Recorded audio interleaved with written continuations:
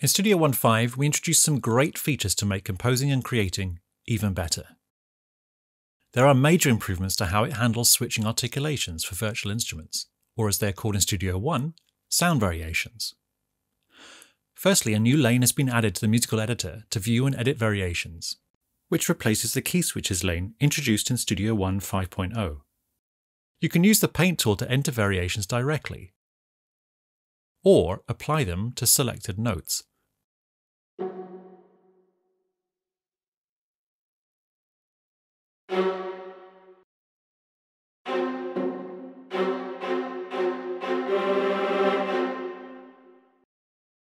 Studio One automatically shows the variation names from third-party instruments that present this information.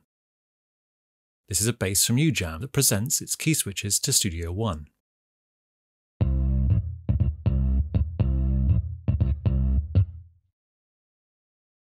And Vienna Symphonic Library's Synchron player automatically populates its sequences of key switches and controller data.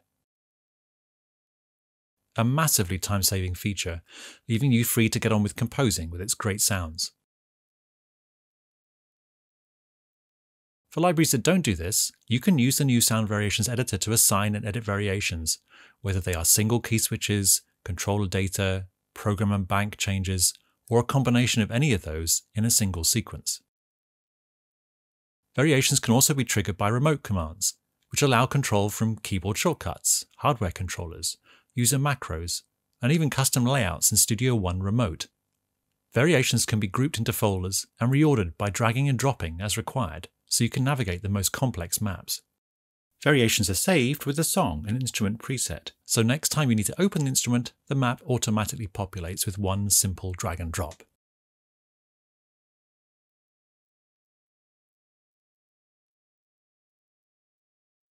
You may prefer to have an articulation per track, useful when needing to set negative offset for a given patch, a feature again improved in version 5.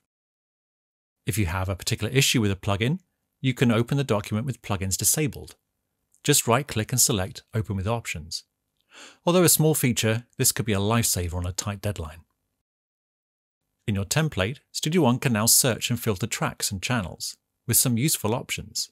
You can elect to show or hide tracks via search text, for example, or show tracks with events under the cursor, with many other choices and custom filters available. The view state of tracks can also be linked to its channel and can be saved at any time as a mix scene. The filter also has its own dedicated undo redo command.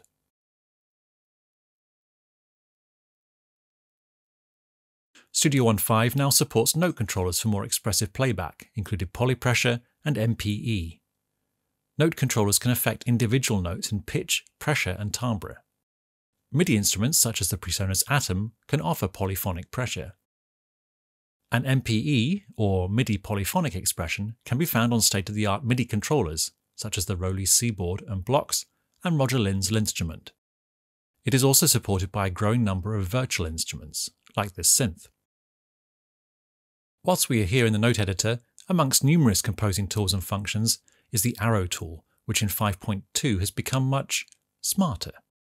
Depending on where you hover over the note, the arrow tool automatically switches its function, here changing velocity, muting and unmuting, splitting the note, or changing its duration. Another recent addition is being able to display global tracks within the editor itself, useful for context and general orientation when you're composing. For specific tasks, you can use the other editors too. There's a drum editor for easily creating and editing drum patterns.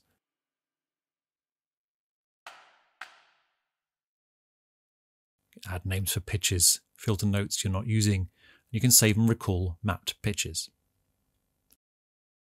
And a score editor, where you can view, edit, or compose in standard notation or tablature, and quickly print either full scores or individual parts or sections. You can also transfer to and from our sister notation software, Notion. Note this transfer is not simply based on MIDI or Music XML, but the actual score data from Studio One, along with document and NEVST data. Each of these editors can be shown side by side, which makes for a great workflow, especially with multiple monitors. If you're writing to picture, you can use Studio One's built-in video player. just drag and drop the video file into the arrangement. You can extract the original audio into its own channel to which you can more easily sync musical hits. And when you want to, say, share a rough preview, you can export the video containing a mixdown of your new soundtrack. If you are syncing to external hardware, then Studio One can generate or follow timecode. MIDI timecode and MIDI machine control can be set independently. In the track area, there are a number of arranging or prototyping tools that are useful for composition. Firstly, scratch pads. This is a special area that you can sketch in or drag events or whole song sections to for noodling about and experimenting. Made something you like? Then just drag it into the main song. There's no limit to the number of scratch pads you can create within a single song. You could even use it for creating entire alternate cues or songs for mixdown. Within the global track selector is the Arranger track. This allows you to not only clearly label sections of a song, but you can quickly and easily drag to another position, either copying, moving, or replacing. No need to cut or copy the tracks underneath, it does it all for you. Plus, if you delete a section, you can close up the cut part automatically.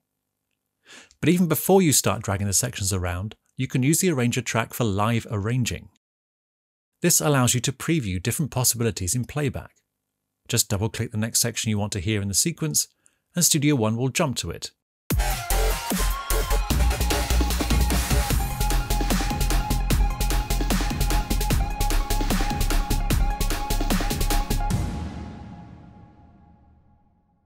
The chord track offers some unique harmonic prototyping tools. Firstly, it will analyze and display any chords you have written, which you can copy to the global chord track. Then you can try out and enter different chord possibilities with the chord selector. But the experimenting doesn't stop there.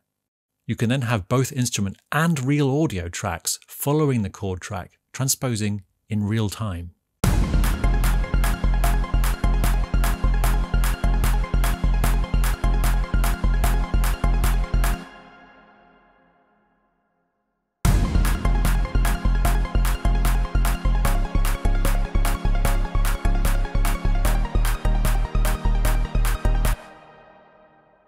And while we're here, this little button is one of my favourite lifesavers when you have played something awesome and forgotten to hit record. The retrospective record button will recall what you just did, complete with any automation and MPE data. Your sonic palette is not limited to the built-in instruments or whatever virtual instruments you own. You can use Studio One's multi-instruments. Combine instruments and synths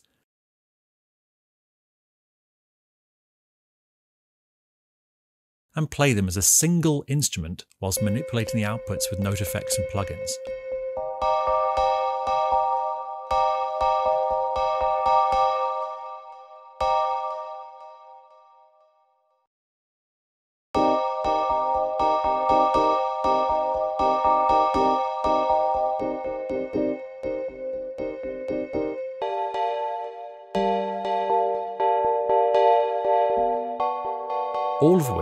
Can be saved together as a single multi-preset.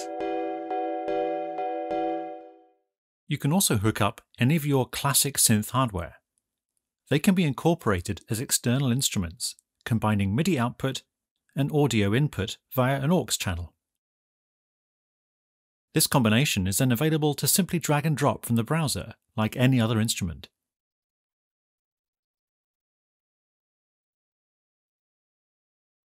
And while we're on external hardware, you can also hook up your signal processors. Studio One's Pipeline XT allows you to quickly set them up, automatically measuring latency and setting a compensation. You can create text notes of your parameter settings and even add a photo, which will be saved with the song and with your pipeline presets. For collaborating with others, if you are a member of Presonus Sphere, you can access shared workspaces directly from Studio One.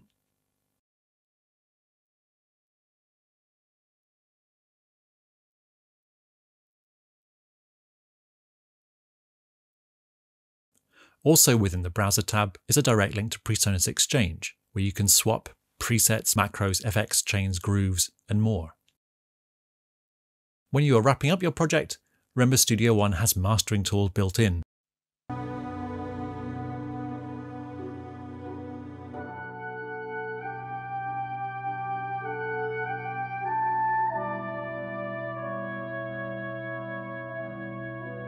And is the only DAW that links songs and stems with finished mixed projects.